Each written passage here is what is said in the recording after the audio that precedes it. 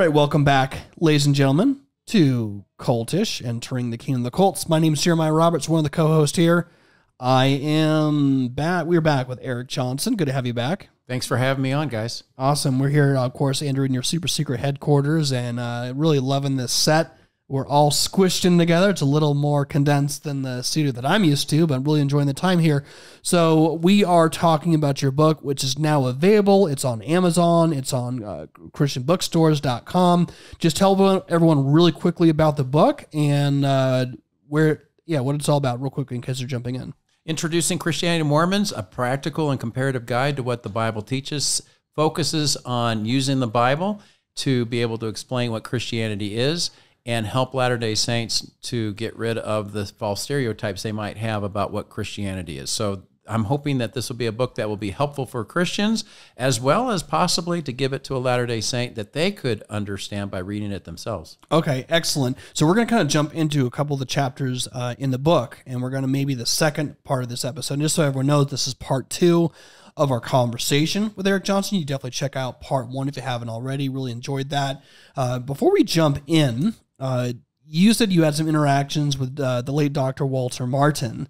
Uh, just tell us about that real quickly. Well, he was a hero of mine, as he is apparently to you guys. Uh, Dr. Martin, um, I, I, met him for the first time in, and the only time actually, in 1987 when I did a short term mission in Utah. He, uh, he debated a gentleman named Van Hale in Park mm-hmm. City at a hotel there, and the place was packed out.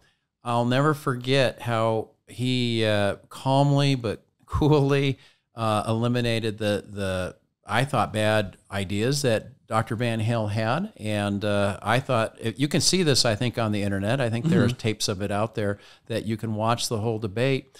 But uh, we came away thinking he really did a good job of explaining uh, that Mormonism is is uh, a cult, if you want to call it that. Mm-hmm. And he had the book Kingdom of the Cults, so he certainly uh, uh, use that word.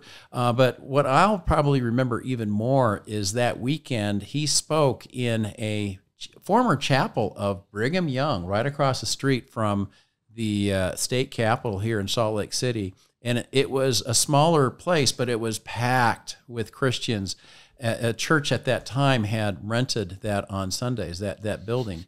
And he's a former uh, relative, of Brigham Young. He delivered a sermon on Jesus, and I don't think it was taped.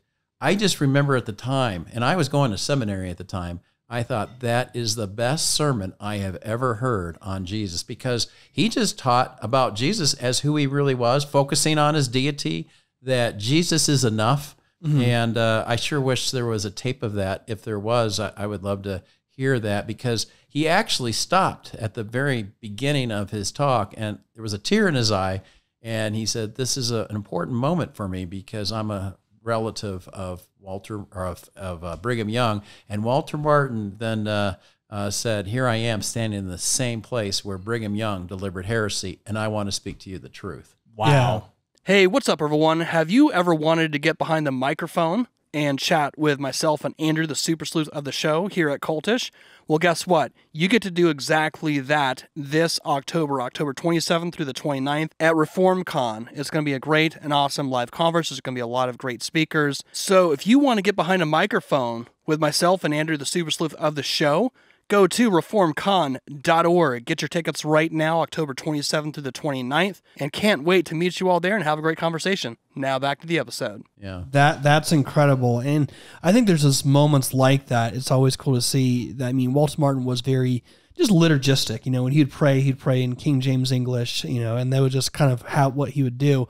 I remember uh, I've listened to it thousands. I, I in I don't know if it's in the thousands, but a lot of times it's the dialogue at the doorstep with a Mormon, mm-hmm. uh, where it's the back and forth conversation. And at the very end, when they're talking with, uh, they're kind of wrapping it up, and they, I forget the guy's name, but he's sort of who's portraying the Mormon. Ed Decker. Ed Decker, yes. And they he's sort of doing the confess, and he starts just to pray towards the, the Lord. But then, right before the very very end, when in in the conversation where Ed Decker's about to accept the Lord, he, kind of they almost like break the fourth wall, and it's like Ed Decker goes back to his old self when he first accepted Christ and came out of Mormonism, and then Walter Martin is still like in character, like leading him to the Lord. And it's like you can see Walter Martin like break the fourth wall because you can only hear the audio, but you can hear Walter Martin like get he he goes from doing this fun conversation with a lot of humor, but he gets very you can hear him just the emotion behind that when he's telling him to like to let ask Christ to be your savior. It's so cool. Um, yeah, so let's just jump into it. And I think that's also been just important because we were talking about all the different aspects of people who are leaving the church, uh, people who don't really know what they believe anymore, people who are jaded because they come out of Mormonism and become atheists or agnostic, people even who are getting sucked into the fundamentalist groups. We talked about that in part one.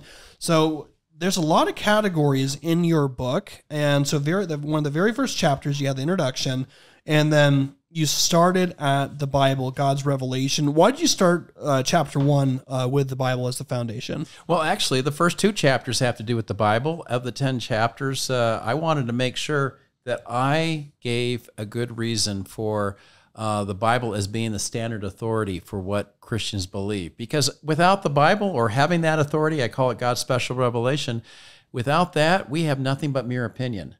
And unfortunately, in Mormonism, Article 8, that was the 13 Articles of Faith created by Joseph Smith, found in the Pearl of Great Price, one of the four standard works in the LDS Church, uh, says that the Bible is true only as far as it's translated correctly. I think that's incorrect. First off, translated correctly, I would agree with that. The New World Translation is a horrible translation. Translations can be bad, but they don't mean translated in the sense of one language to the other they mean transmission of the text. And uh, when it comes to the transmission of the text, I think we have very good authority to be able to say that the Bible is God's word and it is true. It's inerrant as it was originally written, and we have very good copies 5,000 Greek copies, uh, uh, 24,000 in other languages.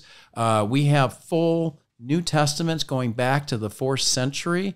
Codex Vaticanus, Codex Sinaiticus, Codex Alexandrinus, three complete copies. When those three all agree, uh, scholars say that is what the original said. But when we have so many other pieces to be able to work from, and the Old Testament is the Dead Sea Scrolls, hmm. those documents that we have from from these discoveries help us to know that this is a place that is uh, uh, uh Israel uh, is the place where these biblical events took place.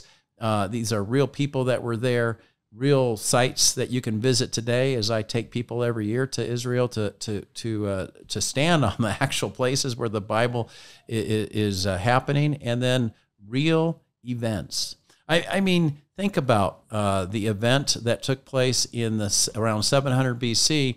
Lachish was destroyed mm-hmm. by the Assyrians. Well, you can go and visit uh, Lachish today and see the ramp built 2,700 years ago. Uh, it's there. The, the story that's talked about in the Bible that uh, Sennacherib went and destroyed, it's there. And then um, King, King Hezekiah built a tunnel, a water tunnel from the Gihon Spring in 1,750 feet. He brought the water into the old city because of what Sennacherib was going to do. And, and so we have that uh, today. Uh, they rediscovered it in the 19th century. So I think archaeology, along with history, very valuable in helping us to know that the Bible is something that's trustworthy and can be yeah. believed. Yeah. So in, ter- in terms of like some apologetics and speaking with your L- LDS neighbor, uh, when they even use terms like insofar as it's translated correctly or it's missing many plain and precious parts, how do they shoot themselves essentially in the foot when they try to quote from the Bible?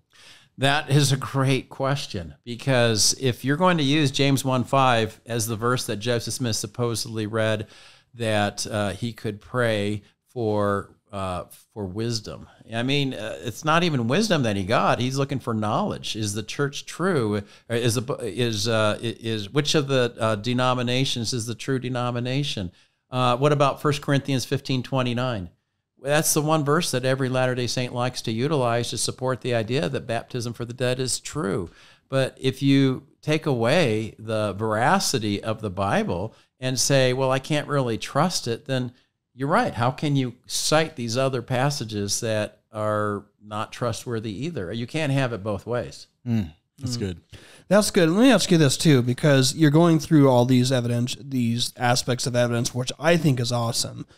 the through the lens though, when you're talking with someone who's Mormon, I'll just read it just so everyone knows. The anyone who, if you have someone who's a Latter Day Saint, their friend or neighbor, they have the 13 Articles of Faith.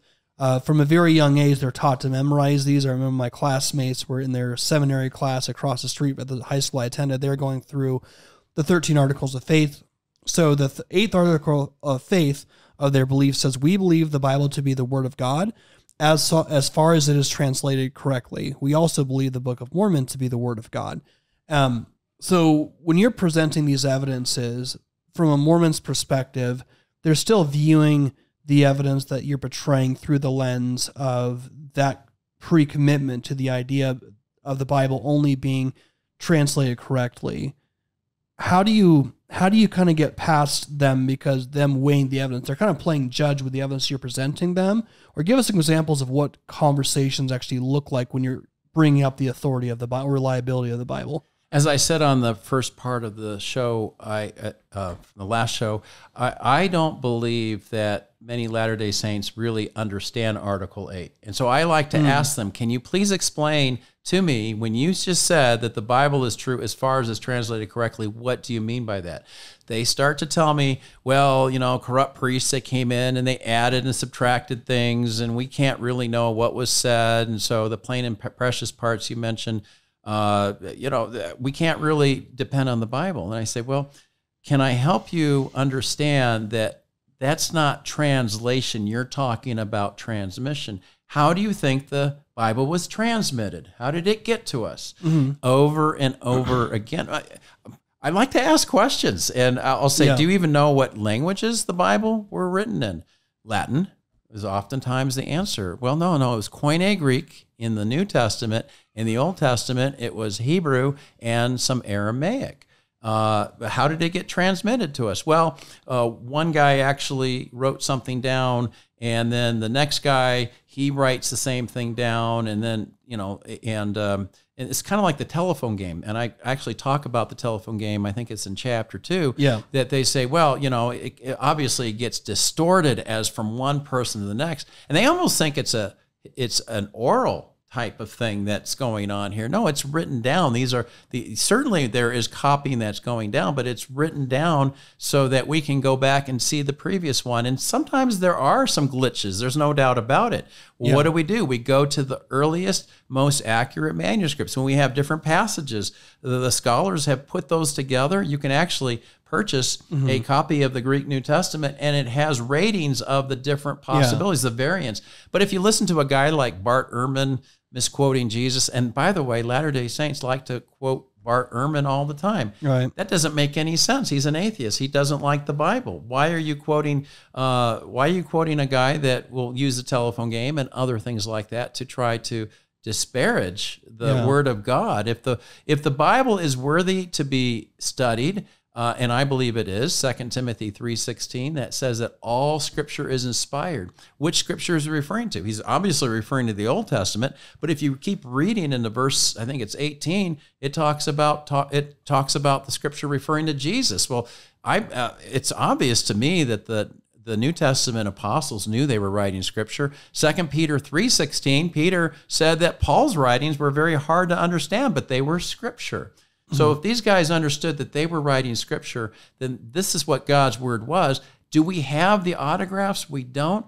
Latter day Saint, do you have any autographs of, let's say, the Book of Mormon? Any of the books there? Yeah. No, the plates were all taken. So we don't have the autographs there. Mm-hmm. Does that affect your understanding of the accuracy of the Book of Mormon? And they'll say, well, I mean, they don't have, let's just be honest, they do not have uh, an Article 8 for the Book of Mormon. The Book of Mormon is true as far as it's translated correctly. They ought to, because there have been several thousand changes since it was first printed in 1830. Mm-hmm. And, and uh, so I'm going to I'm going to be trying my best to ask questions to see what they know about the process.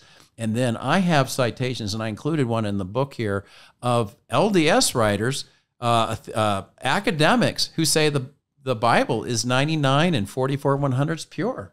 They mm. actually have said that yeah. in conferences, and it's like, yeah. okay, so what? This guy seems to be pretty knowledgeable, and uh, so uh, you know, and then they like to also point out contradictions. My whenever they bring that out, what do you do? You ask the question, which contradictions are you referring to? And then they'll oftentimes give you one. And I always like to ask the question, well, is that the best you have? If I'm able to answer that, then will you believe the Bible is accurate and true? Yeah. Well, no, I won't answer them. Just as Jesus said, you know, he, he did the same kind of thing. And he says, neither will I answer you because pearls before swine. And I'm not saying Latter day Saints are swine. I love Latter day Saints. Otherwise, I wouldn't have moved to Utah. Yeah. Uh, a- a- at the same time, I think it's unfair that they want to disparage the Bible when, as you pointed out earlier, Andrew, uh, they're using the Bible whenever it suits their purposes. They just Right. don't like a lot of the things that it says that contradict what they believe. Right. I mean, we have the autographs too of the Book of Breathings, the papyri that supposedly Joseph Smith translated into the Book of Abraham, that's and he was 110% incorrect with every single little translation that he made. So, Yeah, the church Yeah. admits to that in the Gospel Topics essay that was printed. I think it was 2015. That's found on their church website. Uh, that it's a spiritual translation. Well, uh, you can do anything. And the Book of Moses, same thing. I mean, they don't even have a manuscript to go with the Book of Moses. Right. That just came out of his mind. Well, if you think that a man has such power to translate something that says something completely different, common funeral papyri, and you're able to create doctrine out of it because Mormons do get doctrine out of the book of Abraham and the and the book of Moses as well. They're doing a come follow me um, it's it's it's a um, it's a study that the Mormons do weekly, and so this year they're studying the Old Testament. They took the first five weeks of this and studied the first eleven chapters of Genesis. I mean, we're talking only a one year program, five weeks, eleven chapters of Genesis, and then they also included 10 chapters from Abraham and Moses as part of a study on the Old Testament. Well, it has no manuscript evidence. Talk about having nothing to support yourself with. I have a problem with that because they're including the idea and then the gods. They, they, they make God into plural. Well, where hmm. does the idea that there are true gods, multiple gods? It's not found in the Bible, it's found in um, the Pearl of Great Price. Wow. And, and, and it bothers me too when they say it was a spiritual translation. I mean, if you look at the 1843 Times and Seasons where the Book of Abraham was first published in very big, bold black letters, all caps, it says a translation by Joseph Smith. Right. It doesn't say a spiritual translation, it says a translation. And there's even copies of uh, some of his writings of how he uh, supposedly took characters and then wrote them into whole sentences or whole paragraphs. I mean, to me, that doesn't seem like a spiritual translation. It seems like he really tried. It's just trying to save face. But one thing I hear on the street all the time, maybe you can talk about this, is the concept of the Trinity, right? I hear it all the time. They go, "Well, such as it's it's such a confusing, a hard topic for some of them to wrap their heads around, since they have God reinterpreted to them through uh, manly ways that they can grasp. But when they hear something about the Trinity and the beautiful infiniteness of God, they think it's just too complicated to be true. Hey everyone, if you are watching us right now on Apologia Studios YouTube channel, you need to know that Cultish would not be possible if it wasn't for this studio. So if you want to support Apologia Studios, which also makes Cultish a possibility for you to enjoy every single week here on YouTube, go to apologiastudios.com. You can become an all access member, and you will also get a lot of great additional content, which will also help support the studio, which will allow Cultish to be a possibility as well on a weekly basis. So we thank you all for watching us. And now back to the episode. Well, and and this is the thing about God. He is transcendent. Hmm. He is above our thoughts. Uh, the Bible says that my ways are not your ways, and I think what the Latter Day Saint wants to do is take God and put him into a box, and be able to say, "Here is our God. Here is our view of salvation. Where did we come from? Why are we here? Where are we going? We have the answers to this." But I think if you ask a Latter Day Saint uh, if he has all the answers, he will admit he doesn't by asking the question Do you believe the couplet by Lorenzo Snow, As Man Is, God Once Was? That's the first half. The second half is As God Is, Man May Be. Do you believe that first half? And they go, Yes. I said, Okay, so let me get this straight. Do you believe that God was once a human being on another realm, another world, if you will? Oh, yes, I hmm. do. Okay, so can you explain to me, you know, was he a sinner? Oh, we find most Latter day Saints will say, yeah, he had to have been a sinner, I guess. They haven't thought about it, but I guess he must have been. Whoa, that is huge because so God was once a sinner, he had to die, they say. Well, yeah, the Bible says the wages of sin is death, Romans 6:23. So that's quite incredible. Can you tell me a little bit about the God he worshiped? And what about that God? And what was his God that he worshiped? In fact, can you help me to understand where the first God came from? And you know what they'll say? Well, that goes way beyond my pay grade. I I don't know. That's kind of a mystery. Oh, okay. So when it comes to mystery, you have a mystery. You don't have all the answers. Your God that supposedly was all in a box. Uh, there's a lot of mystery. We don't know who who He is, and uh, you know. So I think when you bring that out to a Latter Day Saint and help him to understand that if he has a mystery, I think we're allowed to have mystery, and I think it's appropriate because the minute you think you have God all figured out, who becomes omniscient? Right. You become the hmm. omniscient one. Hmm, good God is the one who has been figured out. And so I don't think we can fully grasp him. We can get his we can understand the major characteristics of who he is, but we'll never fully understand his mind or his nature. These are mysteries that will be I think unveiled to us in in heaven. Yeah. What do you think about the claims of the Bible being put together by Constantine, Constantine or assembled at the Council of Nicaea? do you see those claims still being made by folks who are LDS? I, I remember hearing that a lot. Uh, not not lately, but in college it was a big big thing. Maybe it was around maybe because of the Da Vinci Code, Yeah. but that was a big thing. And what about you? I think you still see uh, that idea uh, because when the Trinity gets brought out, you know, then they're, th- oftentimes they'll say, "Oh, that was from uh, pagan background, the the Greeks and the Romans and all of the rest." And and so I say, "Can you pinpoint that for me?" And usually they like to say, "Well, there was there was like this council. They don't know when it was. It was 325, AD 325, Council of Nicaea." Uh, and so then I'll say, and I'll say, well, the Council of Nicaea, yeah, yeah, that's the one. Okay, so what happened at the Council of Nicaea? Let them explain to you what they know. Well, they'll usually explain to you that they don't know what the Council of Nicaea was about because either they'll say, well, that's where they put together all the books of the Bible, or they'll talk about how the Trinity was created and that's where so much heresy came in, you know, because soon after the death of the apostles, the great apostasy, there is no more authority on this earth. So, so that's what they'll say. I'll say, no, that's not what was. They had nothing to do with the books of the Bible. That gets taken care of as far as the Old Testament. We accept what the Jews did at the Council of Jamnia between 90 and 120. Uh, we accept that what we have is 39 books. They actually have is 22, but the same books are there. So we've never really debated the Old Testament.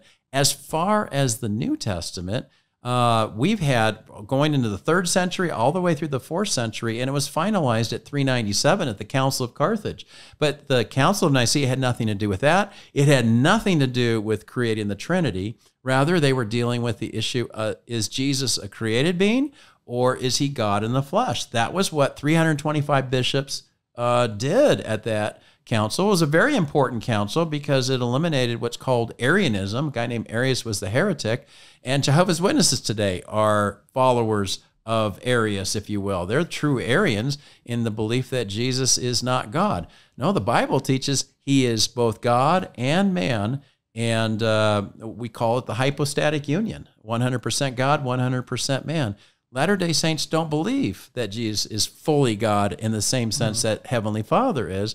So we have a problem with our view on who God is. That's so good. And what can you clarify too? Uh, a lot of fundamental misunderstandings as well is with scripture in general. People think that there's men who authorize what is in scripture or what is the canon in general, but there's simply more of a recognition of what was already there. Can you explain that a little bit more too? Yeah, they, th- I mean, there was a guy named Athanasius who was involved at the Council of Nicaea, and uh, he came up with a list in the 350s of the 27 New Testament books. And these are the same 27 books that had been talked about earlier in the third century. There, there was some debate. I mean, there there was a debate about uh, some of the pastoral uh, epistles. Uh, we, I think Peter, you know, Second Peter, I think um, wa- was discussed. Uh, Second and Third John, um, James. You know, th- there, there was some issues with that, but overall, they came together and they just said, "This is the list that's authoritative." And like I said, it was finalized in Carthage in 397. Um, uh, council, what was the other council? I forget the name of it, but they they did have discussions to try to figure this out. And uh, listen, I mean, what other books should be in the New Testament canon? I mean, I ask a Latter day Saint, well, you know, should some of the Gnostic Gospels? There are some who would advocate for that, but that doesn't really co- correspond with Mormon teaching. Uh, uh, what books should have been left out? I mean, the book that they might have left out was the the book of James, that's one of their favorite books to go to. So I don't think they want to Yeah. get rid of the book of James. And, and uh, so, uh, you know, scholars have looked at this even in the 21st century, and they would agree those 27 books were meant to be.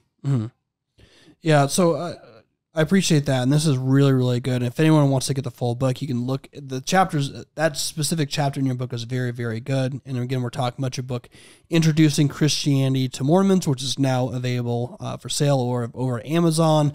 Uh, Christian, is it ChristianBooks.com. christianbooks.com and you could definitely check that out i so chapter three is called the existence of god and i want to maybe just tap into my immediate gut reaction when i just saw that title. Mormons they believe in god. They believe in the existence of god. They just have a different concept concept than christians. They believe that god is an exalted man who has a body of flesh and bone.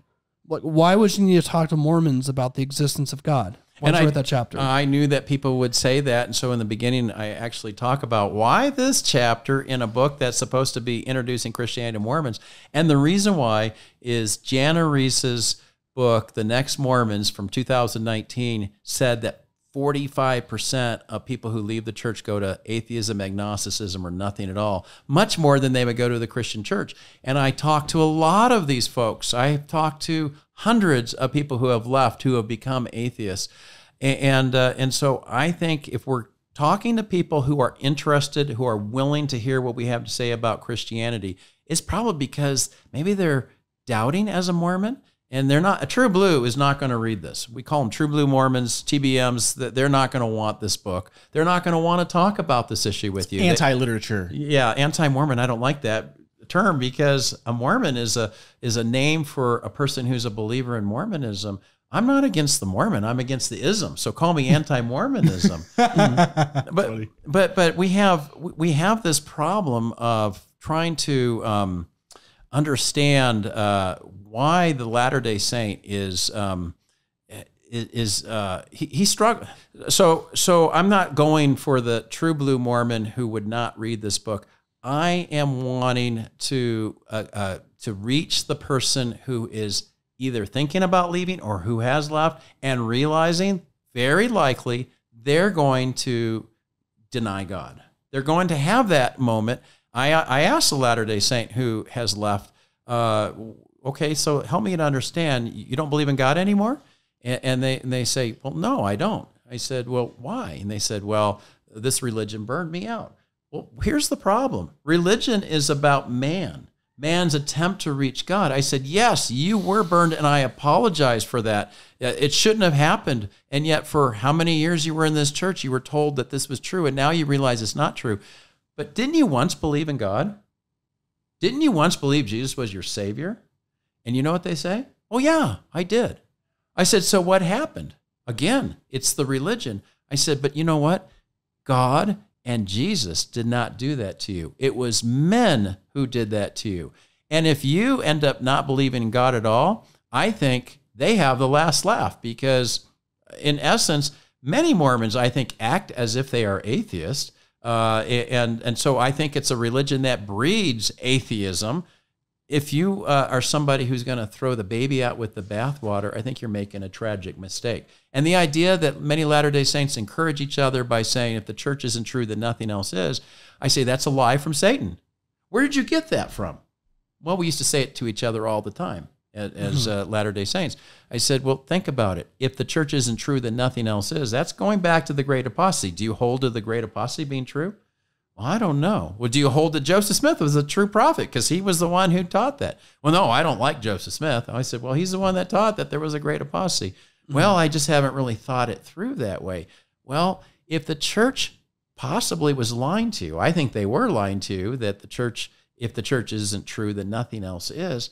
well, um, maybe you need to consider the possibility that something else is true. It could be atheism, it could be Buddhism, it could be uh, biblical Christianity. And until you do the investigation, I did the investigation when I was a junior in high school, and I found out that Jim Jones had a thousand people drink poison Kool Aid. I said to myself, how do I know that I'm not part of a of an error? So I went out reading other scriptures, talking to as many people as I could, and that's where I gathered my love for people who believe in other religions. I find it all fascinating, as I'm sure you guys do as well. People right. believe some really interesting things. I want to get into their minds and their heads, and I want to find out why do you believe that, mm-hmm. and then I want to take a look at what best corresponds to reality. That's good. So, so why is it then so important to understand the existence of? It's not just God in general, but the God of the Bible. Like, why is that important? Well, if the Bible is true, then we would have to say that it is teaching the truth about who God is. It's quite simple. That's why the first two chapters on the Bible, because if the Bible is not true, then I guess it's everybody for himself, and we try to look at the uh, um, empirical evidence to see, okay, what is truth? This is the question that uh, Pilate asked uh, Jesus at his trial. What is truth? Que veritas? And I think that's the best question anybody today can ask. Is the Bible true? I think it is. If the Bible is true and it teaches in a God who's one God, Deuteronomy 6 4, Hear, O Israel, the Lord that God, the Lord is Echad, is one. Uh, the idea that uh, God uh, doesn't know of any other God, Isaiah 43 10. Isaiah 44, 6 and 8 says that God knows of no other gods. That's pretty clear. Mm-hmm. If you mm-hmm. read 43 through 46, the, uh, the, the, uh, uh, the idea of a monotheistic God is very, very, much makes sense. That God doesn't change, Malachi 3, 6. That uh, God is from everlasting to everlasting, Psalm 90, verse 2. And in fact, if you go to the Book of Mormon, which is supposed to be the most correct book on earth, and a man supposedly can get closer to God by abiding by its precepts than by any other book, well, Mosiah 3.5 and Moroni 8.18 both say that God has always been God.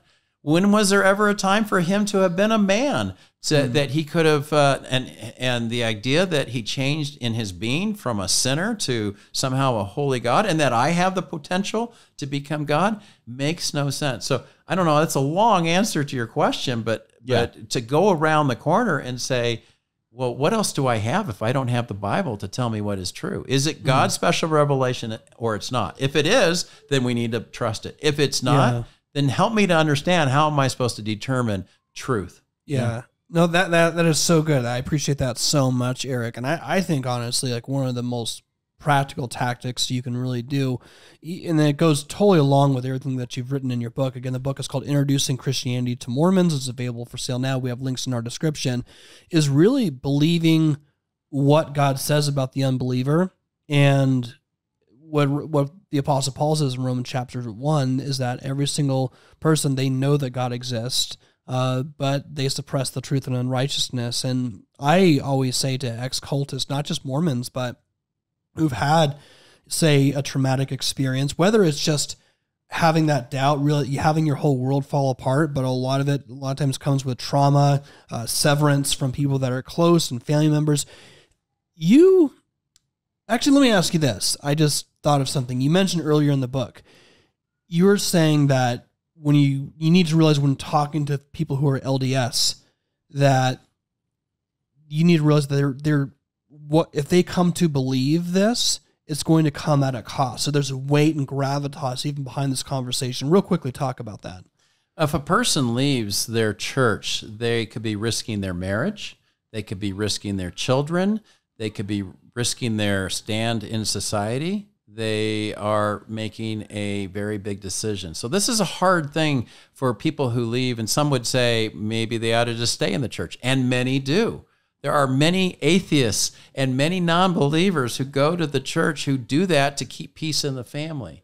But uh, I think we as Christians need to be appreciate that because I never yeah. was a Latter Day Saint. You guys weren't either, and so we don't quite get that. But to understand the ramifications of leaving, when I present to them the gospel and they accept it, they are wow what are they going to do now? Now that they have this information.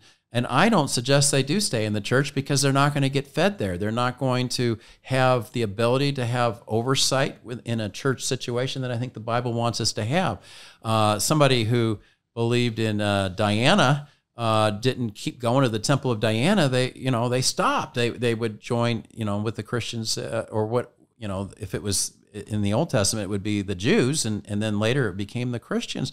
I, I think we um, I think we need to present the truth, and if if uh, a person wants to leave Mormonism, uh, then we're going to have our work cut out for us to help them to be able to transition out. But I'm going to say, if you're a Latter Day Saint and you're somebody who's scared about leaving, it's the best thing you can ever do and to have a relationship with Jesus compared to what you had as a Latter day Saint, not knowing if you have eternal life. If you were to die right now, most Latter day Saints say, I don't know if I would end up in the celestial kingdom. But in the Bible, it teaches us, 1 John 5 13, that we may know we have eternal life.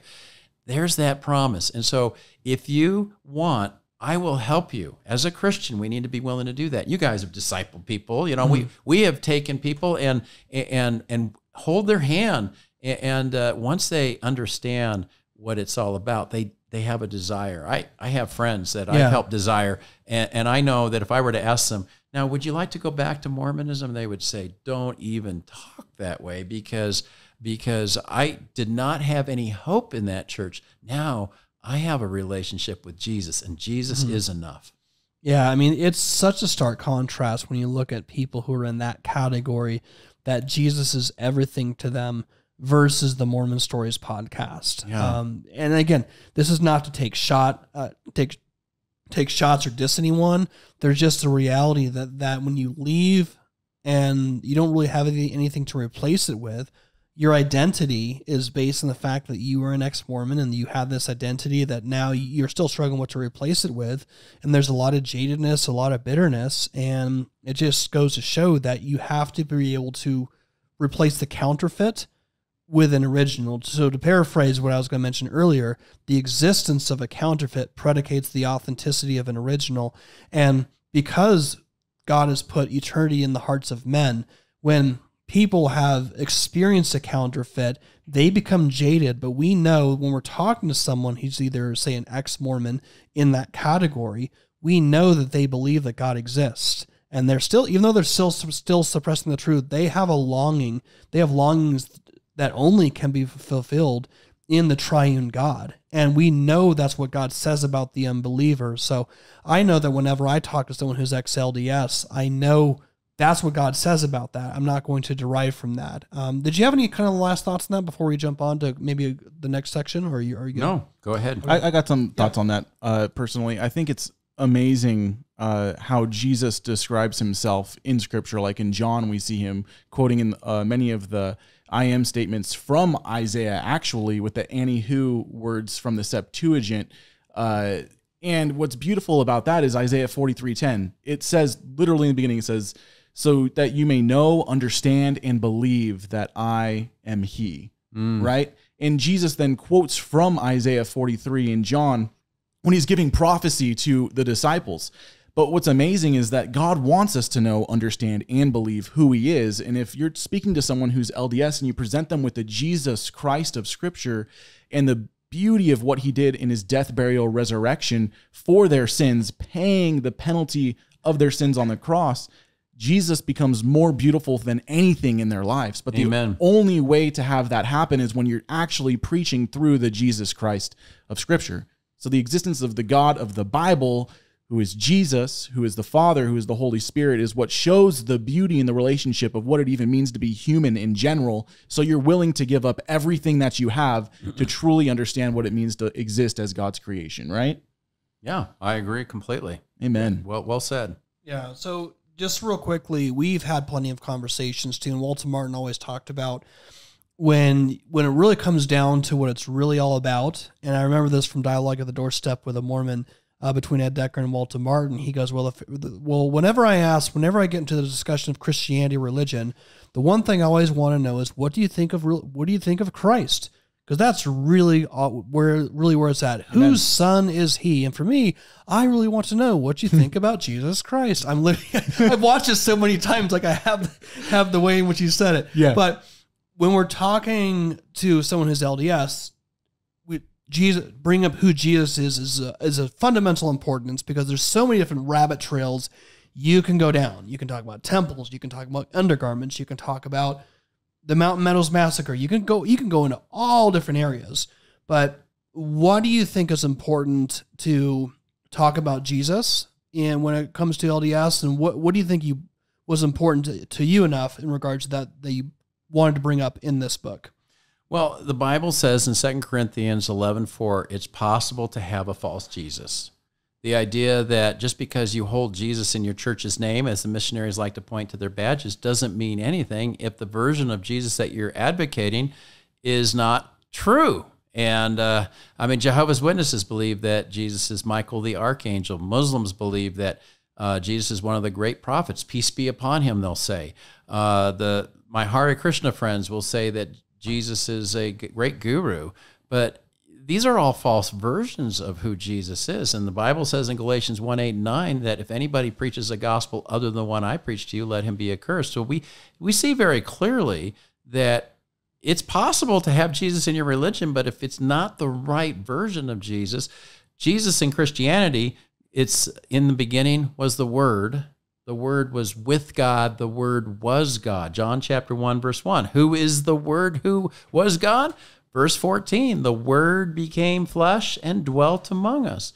We believe that Jesus is fully God and he's fully man. We believe that that's called the hypostatic union, uh, 100% of each. Jesus, being in very nature, did not consider equality with God something to be grasped, but he humbled himself and became obedient unto death, even death on a cross. Philippians chapter 2. We can go through the Bible and we can get a really good picture of who Jesus is. Well, who is Jesus according to Mormonism? Jesus, according to Mormonism, is a created being of Heavenly Father and Heavenly Mother, firstborn. So he, that's the term that uh, is in the Bible. So they'll use that term, firstborn. They mean that literally. Yeah. Lucifer followed. Uh, there was this great council in heaven, and Lucifer and Jesus disagreed on their plans. Uh, and then all of us really are brothers and sisters of Jesus. Imagine that. We all came from the same stock. Heavenly Father was our parent as well and that Jesus somehow came into the uh, uh, somehow he perfected himself without having to go through mortality. I always like to ask that question. How come he didn't have to go through mortality and I do? Yeah. What did he do that was so special? Because, you know, I mean, so he was perfect in the pre-existence and so therefore he gets a free pass and and uh, and then when did he accomplish uh, uh perfection? Some would say when he uh, was on the cross, and that's where he uh, uh, uh, he he got his perfection there. No, Jesus was perfect from the very beginning, according to the Bible. So when it comes to Jesus, I like to ask the Latter Day Saint, "Tell me more about your Jesus," and they'll mm. they'll tell me about how he's their savior. Well, what's he your savior of? What what, what does that mean, savior?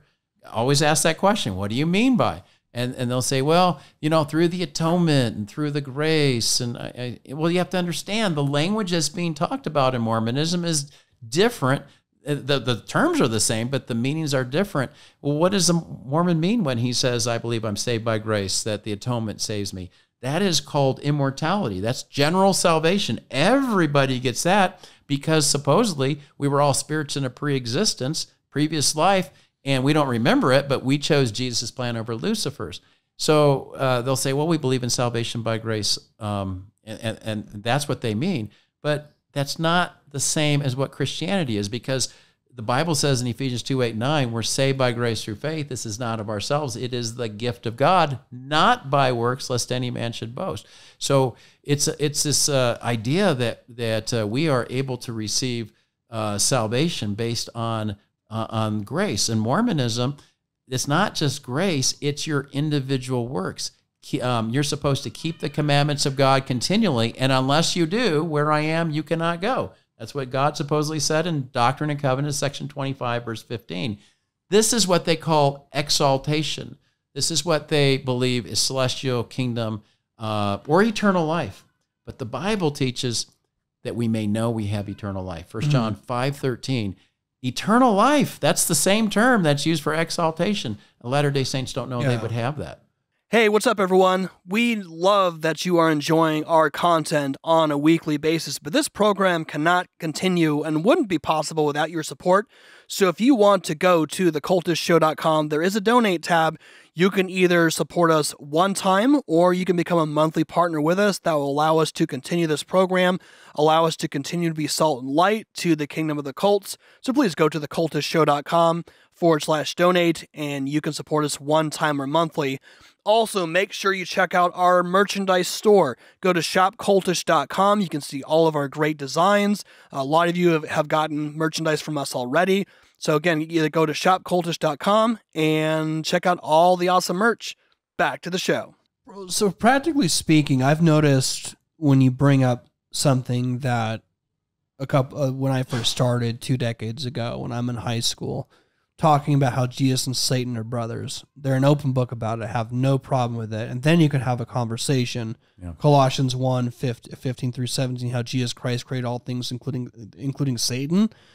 It seems that that has had a minimum continues to have more less of a an effect. The effect on that becomes a lot more minimal just because they're postmodern either they're postmodern and they don't understand their own doctrine or they just are indifferent or don't care like how do you what do you what are you seeing come up now when it comes to jesus and even those arguments or how, how do you effectively communicate this to a mormon so they can understand there's a terminology difference. What does that look like in your perspective? Yeah, I think for a lot of Latter day Saints and this postmodern idea, especially the younger uh, Latter day Saints, they're no longer a people of the book. And, and by that, they have four scriptures. They have the Bible, the Book of Mormon, Doctrine and Covenants, and Pearl of Great Price. And yes, they study that in seminary in high school. Uh, every high school here in Utah has a seminary nearby, and they're studying these things. There's no doubt about it. But when it comes to what they rely on for truth, we talked about this in the previous show. It's all about personal revelation, what it is that I feel. And I think for many uh, Latter day Saints, uh, unfortunately, we can use our Bible and it won't really have an effect on them. But then I have to understand that I am not going to be able to convince someone with my words. It's going to have to be the Holy Spirit who comes in and takes over. So when when I, when I uh, when I'm in a conversation with somebody and they're just coming out with things that really are not what Mormonism teaches, they come up with their own uh, ideas. Uh, I always like to say, well, where do you get the basis for being able to believe the way that you believe versus the way that I mean, I, I know what Mormonism teaches, and that's not what Mormonism teaches. And I know what Christianity teaches. It does not teach anything close to that. So trying to uh, trying to work this is all kind of a puzzle, I would say. Trying yeah. trying to uh, each person is an individual, and, and uh, but I think we are coming more to this idea that you know in the progressive nature, it's just what I believe. And who are you to tell me I'm wrong? That would be very uh, unkind of you to say that my ideas are wrong when, well, I, I am. I'm saying that your idea is not consistent either with your religion or with the Bible itself. So how do you, um, with modern uh, LDS apologetics, like going down to Provo, I hear this all the time. Like, we do believe in the same type of grace. It is by grace and faith. I only do the commandments because I have love for God. It's not that they save me. I always try to remind them. I'll be like, well, what's Article Three say? You know, things like that, because it's we believe that all mankind may be saved through the atonement of Jesus Christ by obedience to the gospel ordinances and principles. But there seems to be this disconnect ever since this uh, LDS teacher Brad Wilcox has Yeah. like really blurred the lines between uh, what they actually truly hold to in their doctrine in terms of a works based salvation. Can you kind of explain that? Like, how can we break that that barrier in a sense? If you take a closer look at what Brad Wilcox teaches, and you can go to our website, mrm.org, we've done podcasts on him. Uh, he just spoke at General Conference last year, very popular speaker. But he really is not saying anything different than what Mormonism teaches. You have to look closely. It sounds like oftentimes they they love to come up with these little catchphrases, and uh, people gravitate toward that. Jeffrey R. Holland, for instance, a few years ago said, "You get credit for trying." And a lot of Mormons were telling me on the street, well, I get credit for trying. But you read his talk very closely. He's not saying that you're going to get the celestial kingdom. It just means you get credit for trying, but you got to keep going until you actually do what you're supposed to do. How many command? Here's what I ask: uh, How many commandments are you supposed to keep as a Latter Day Saint? You know what their answer is? Mm-mm. All of them. Mm. How often? All the time. Yeah. How are you doing at that? hmm And, and because uh, Doctrine and Covenant, section one says, For I, the Lord, cannot look upon sin with the least degree of allowance. Nevertheless, he that repents and does the commandments of the Lord shall be forgiven. So while a guy like Holland or a guy like Wilcox can come in and make it sound like we're really that close, no. In fact, why is it every time I like to cite Ephesians 2 8 9? I'm sure you guys like that verse as well. Mhm. You cite that verse, where do they go? What's the first thing? Faith that works is dead. Yeah. Oh my goodness, James chapter two, verse twenty. Checkmate. Have you thought about? Yeah, and and I, I always say, well, I agree with James. Well, if you agree with James, then you don't agree with Paul. Oh no, no, no. I agree with James because what is he saying? He's saying if you say you have faith, then good works will follow. The Bible teaches that all over the place. Galatians chapter five, the fruit of the spirit is obvious: love, joy, peace, patience, etc. The Bible says in Romans eight that a Christian has the Holy Spirit in him uh, or her, and, and that's the one who does the work in your life. Uh, I mean, I, I like to go back to Ephesians two eight nine, right where it says, "Not by works, lest any man should boast." What part do you not understand? But verse ten goes on after he just says that, and it says, "For we are God's workmanship, created by Christ Jesus." To do good works which he prepared in advance for us to do. Uh, James and Paul, therefore, were on the same page. Before we were even created, God created us to do good works, and it's yet the justification by faith alone. Uh, Romans chapter 5 uh, says we're, we're justified by faith apart from works of the law. Read the book of Galatians, had a powerful impact on Martin Luther. Uh, that's where sola fides comes from Right. uh, you know, going back to those passages. But in Mormonism, they have a verse, and they all know the verse, 2 Nephi 25, 23. You're saved by grace, what? After all you can do. How many times have you heard that on the street? And you say, So, how much can you do? Well, I can do a lot. Uh, are, so, how are you doing at that? Well, I'm not quite there yet, but I'm trying, or I'm doing my best. Mhm. Well, wait a minute. Let me understand. What does try mean? Try means you didn't do what you set out to do. What does it say in 1 Nephi 3 7? 1 Nephi 3 7 says that God does not give commandments that cannot be kept. And by the way, notice I like to cite their verses. I don't cite them exactly, I just give the gist of it. I think Yeah. if we can learn those verses from their own scriptures, I think it has a powerful effect. They all know 1 Nephi 3 7, and they go, Yeah, but I'm trying. Well, you know what Spencer W. Kimball said about that in his book, The Miracle of Forgiveness? I, I disagree with Spencer W. Kimball in his book, The Miracle of Forgiveness, but I do think he did a good job of explaining what the unique standard works say. He said, just do it. You're capable of Yeah. doing it, then just do it. He said on, on pages 163 and 164 of his book, trying is not sufficient, nor is repentance Yeah. complete when one merely tries to abandon sin. To try is weak, to do the best you can is not strong. You must always do better than you can. This is true in every walk of life. I think Mormonism Yeah. is impossible for that. Wasn't it you or Bill there? I think I ran into at the temple, and you were uh, handing out copies of the Miracle of Forgiveness. I have, I, I actually talk about that in our book, Sharing the Good News with Mormons. I have a website, themiracleofforgiveness.com. I have handed out since 2014 over 1,400 copies uh, out on the streets and talking to people. Uh, I get into more conversations with that book. Some people really hate it because he does have a section against homosexuality. So there's a lot of the younger people who hate that. But many of them have not read it. But I find that the majority of the older Latter Day Saints have read it, and so I'll I'll stand outside uh, the general conference or a BYU football game, and I'll say free copy of the Miracle of Forgiveness. Every Latter Day Saint ought to read it, and then people will, with some pride, say, "Well, I've already read it." And then I ask that question. Oh, are you doing everything that Spencer W. Kimball said you're supposed to do? And then what do they say? I'm trying. I can't tell you how many. How did I memorize pages 163 and 164?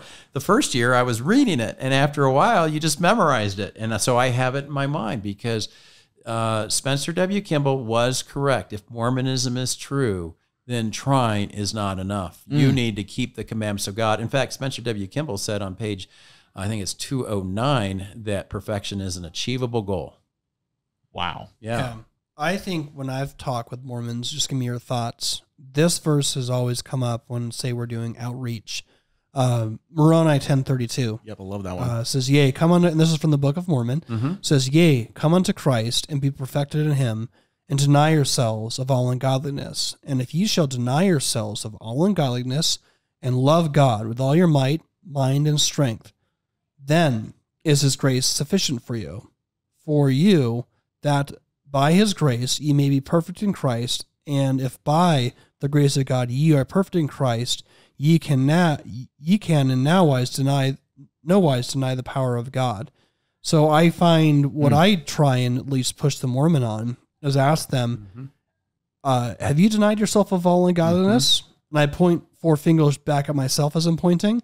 Uh, I haven't. Uh, so what about have you loved God with all your might, mind, and strength? I haven't yeah. you realize it's a if then. You can't get around it. And I think I've noticed too that as you have this conversation, they come to this weight and realization that I don't like all of a sudden like, oh my goodness, I'm there. And that's when you have to tell them, at least from my perspective, that uh, you're under a, you're under a yoke. You're under a burden. Like what what's your experience in this? Have you used this verse or what are your thoughts on that? Well, actually, uh, my friend Bill McKeever put together seven verses that he uses on the street. Uh, uh, we called it the celestial law tactic, and it was later made out um, by others. And so it's used a lot on the streets. That's one of the key verses. I think we need to make sure we have a lot of compassion for our LDS friends, family members, neighbors who are under the bond of the, yoke of, of Mormonism. Because imagine they are trying their best. They really are. And I commend them for trying hard, for doing their best. But if you're not capable of doing what what uh, Mormonism says and what the scripture there in the in the uh, Book of Mormon says, then you're not capable of being able to get to the celestial kingdom. The onus is on the back of the Latter Day Saint. If that's the case, they have no hope. Why is it here in Utah, one of the states that have the highest percentage of religious people? We have over 50% Latter day Saints in this state, but we mm-hmm. have one of the highest rates of Prozac usage mm. in the entire nation. Why is that? Now, some might say the Rocky Mountains, you know, the, the mountains cause that. Well, Really? yeah there's people there's there's um, doctors who say that that has a i- impact on depression but i'm going to suggest to you there are a lot of people who have manicured lawns and every week every sunday they open up their garage door with the remote control and then they go in and then it closes behind them and uh, and there's a lot of sadness there because they're doing their best, they're trying hard, and they're not capable of doing everything they know they're supposed to do. I talk to people on the street all the time. That's why I think Spencer W. Kimball's book is not loved because he's just stating brass tacks, and for them, Yeah. that's not good news. And I would agree. But the Bible teaches that there is good news. There is hope. There is the possibility of knowing that you have a relationship with God, and it's not based on what you did or what you do, it's based on what God did. And that happened 2,000 years ago when Jesus died on the cross and he said, It is finished. You no longer have to do the work. Now he says, I have my work done. I have accomplished that. I have finished it. And he wants to, what we call imputation, he wants to credit us with righteousness that we do not have. Uh, mm-hmm. th- that what we need and that and that God can provide Yeah. to us. Spencer W. Kimball said, "You have to be like a Superman. You have to basically keep all the law and be a Superman." I'm mm. going to say, I do need a Superman, but it's not me. It's Jesus. Jesus is the one who paid the price and died for my sins so that I might be able to have a mm-hmm. relationship with him. And when you understand that concept, it changes you radically as far as what works are all about. Works mm-hmm. are important, as chapter nine in my book is about sanctification. Yes, we believe as Christians to do good works, but we don't believe those good works are somehow earning us God's favor. And that's what Mormons are not seeing. So we need to have that compassion. We need to love Latter day Saints. We need to be speaking the truth in love, Ephesians chapter 4. We need to have an answer for everyone who asks us to give the reason for the hope we have, but to do it with gentleness and respect. And I think that's what you guys do.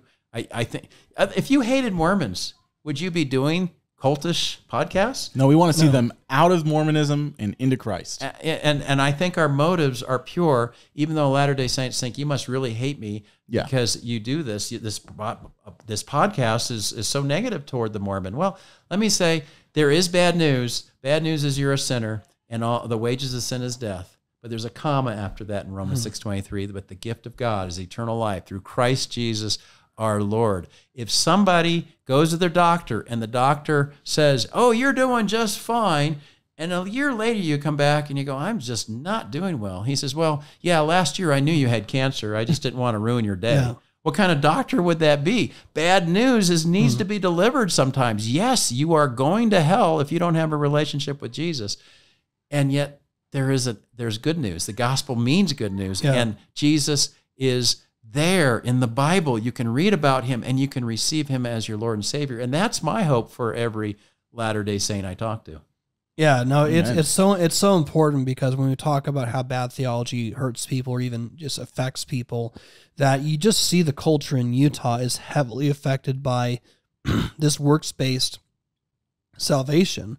So you talked about not it's not just Prozac. I mean, Utah leads the na- is one of the top leaders in the nation of all sorts of different type of prescription pills and and like Xanax and all all sorts, all sorts of different substance abuse. Really, a lot of the drugs used to be very mind numbing to numb how they feel.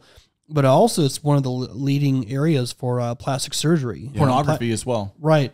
Yeah. And just because there's that pressure, that there's that sociological pressure from the women's perspective to have that perfect Stepford wives uh, look, and there's just more and more pressure, especially now. Not only just that Mormon pressure, but then you have the Instagram influencer.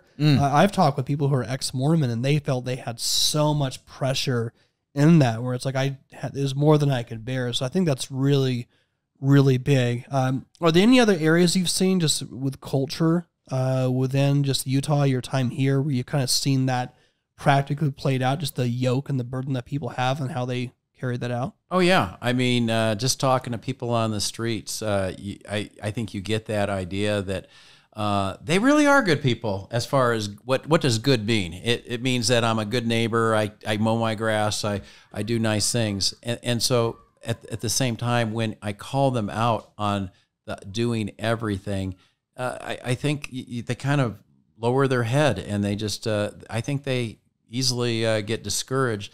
And, and I don't think it's necessary uh, to, to get discouraged when there is the answer. But unfortunately, fewer than 2% of everybody who lives in Utah is an evangelical Christian. Yep. Uh, we need people coming here to, like you guys, you know, I mean, you, you've just moved here last year, Andrew, and we need more Christians here who are going to have the safety net available for people who are leaving this church in droves. And I think it's, I think it's unfathomable that only 10% of everybody who leaves Mormonism ends up going to evangelical Christianity. That that number is too small. And that's why this mm-hmm. book, Introducing Christianity to Mormons, I want to give good information, a reminder for those who are Christians, but you know what? We don't teach theology very well anymore. Back in the old days, it seemed like it was a little better. People don't read, people don't think very much, but we need to know what Christianity teaches. And then we need to also understand our Mormon friends and neighbors and their mindset so that we can give the best possible presentation of Christianity to them that they might have um, an, an we have an answer I think to the problem to to the question of where did we come from why are we here and where are we going and I think it far supersedes anything that Mormonism has to offer. Mm. No, excellent. And I think one of my uh, just one chapter that popped out to me as well too, uh, as we kind of go towards towards the tail end of our conversation here, is that uh, growing in the faith. That there there's just chapters in here that just seem oh well this is kind of unconventional for a book it's like a little different but I think this is really good because it isn't just about helping someone leaving Mormonism even someone it's helping them get out of Mormonism get out of this cult and we want them out of it and with Christ. But then even for someone who's LDS or any ex-cultist, there's a lot of there's a lot of challenges. There's a lot of unthinking that they have to do. I mean, I'm sure I've had plenty of conversations with people who are ex LDS, even years later, still having struggling, knowing that they're saved by faith alone, but having that programming of that pressure from work still in their mindset. Practically in this chapter, maybe maybe just talk a little bit a little bit about that and what what drove you to write this chapter kind of towards the tail end. Yeah, as we said, chapter three, existence of God, chapter, I think it's seven, resurrection. Well, Mormons believe in the resurrection, but that is the cornerstone for what Christianity is all about. So I wrote that chapter to say, I'm trying to be pro Christian. And then I'm hoping that your LDS friend is not only asking, or maybe has just left the church, but they're not only asking what you believe, but okay, so what do I do now? And that's how I start the chapter with. Uh, uh, a couple that were 80 years old. This is a true story. All the stories in there are true. And uh, uh this was seven years ago. This 80 year old couple came into the bookstore at Sandra Tanner's Utah Lighthouse bookstore and said, uh, I don't believe Joseph Smith anymore. We've been in the church for 80 years. What do we do now? Well, what would you do if you got asked that question? What do you do now? Well, first thing is, I think we need to talk about finding a church home where you can grow. Some would say you stay in the church. Maybe you can help people get out. No, I don't think that's a good idea. I think you need to find a, a good Christian church. Here in Utah, we have a website uh, sponsored by our ministry, mrm.org. It's called utahchurches.org, and we just bought utahchurches.com. Aaron Shafovaloff oh, awesome. is the head of that one. So, so, uh, so that there's a place you can go find a church.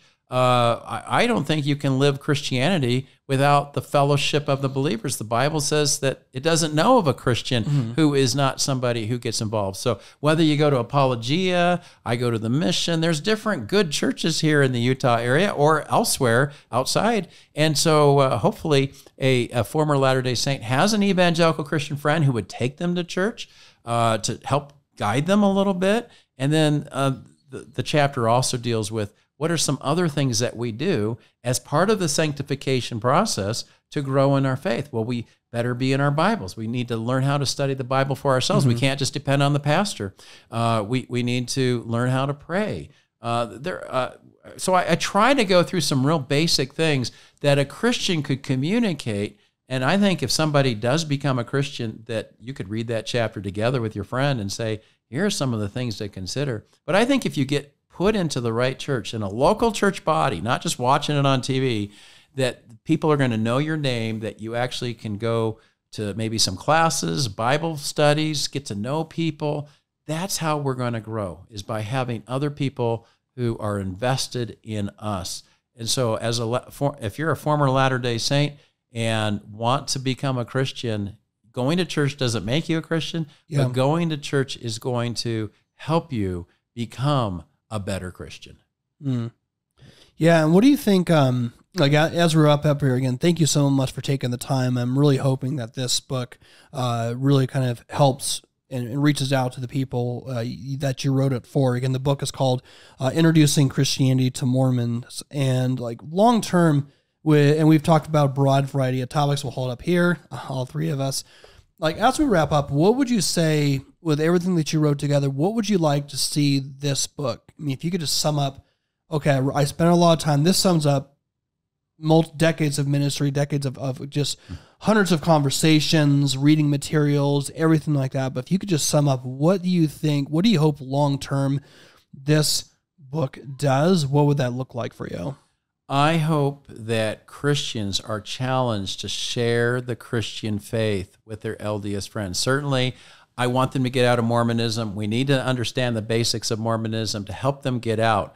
But once they've made that decision that Mormonism is no longer true, or they just want to understand what it is that you believe, I hope this book encourages you to be able to share what it is that we believe as Christians. Because if we have the truth, and I do believe we do, then um, we need to share that truth with Latter day Saints in a way that they can understand. So, this book, written specifically to help somebody explain Christianity to someone with the Mormon worldview. And in the last part, the glossary, I had to fight for this, by the way, with mm. my publisher because they only want you to do so many pages. And they mm. said, oh, that's going to add pages. Yeah. Yeah. I said, I want to have a glossary that explains the terms that are used in this book. And I didn't want to have to explain it within the chapter. So I italicize the word whenever that first word is used. So you can come back here and look at it. But throughout, I actually take some of the terms that we have, uh, like for instance, grace. What does it grace mean to a Christian? Well, according to the Christian, it's unmerited favor with God. I only got one sentence, and so that's what I said. Uh, provided to those who place their faith in Jesus, and LDS, enabling power provided by God to help a person keep the commandments. Completely different. So I'm hoping that this book could be like a resource that somebody could go, I'm not quite sure what my Mormon friend means when he says grace. Well, it's enabling power. Oh, enabling power to do what? To keep the commandments. And yet you ask them, are you doing it? No. So what good is grace if, if hmm. it's not if it's not working? So uh, yeah. That, so that's kind of a longer answer than you might have looked for, but I, I just hope that it's an equiper, and then I hope it's a book that Christians could feel mm-hmm. free mm-hmm. To give to their LDS friend because I've written it as if a Mormon is reading this. So I try my best not to be uh, unnecessarily offensive, but I also want to share the truth. All right. Thank you so much, Eric. Uh, again, introducing Christianity to Mormons, available now at on Amazon, ChristianBookstore.com, or wherever uh, this book, wherever it's available. We have links in our description as of right now. Uh, so if you guys enjoyed this episode, hope it was encouraging for you. And as always, uh, please leave comments in your social media. Let us know what you thought. And as always, a program like this cannot continue without your support. So if you want to support Cultish and allow programs like this to continue on a weekly basis, go to thecultishshow.com. There is a donate tab. You can become a monthly partner with us, or if you want to drop us a one time donation, that would be much appreciated. All right, all that being said, we will talk to you guys next week on Cultish, where we enter into the kingdom of the cults. Talk to you next week.